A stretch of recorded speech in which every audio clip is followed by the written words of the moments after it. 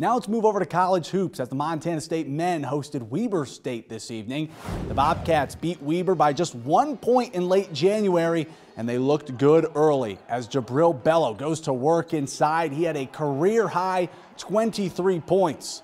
Wildcats doing the same, but check out the great footwork by Michael Kozak. Jukes Bello out for an open layup. Weber down 28-21. But Borja Fernandez was balling tonight. He was four for four from three-point land as Montana State takes down Weber State 77-63.